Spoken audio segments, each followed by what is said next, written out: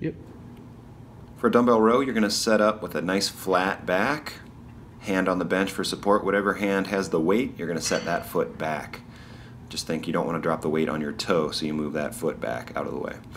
Um, you want to make sure that your back stays flat. The only joints moving are your elbow and shoulder.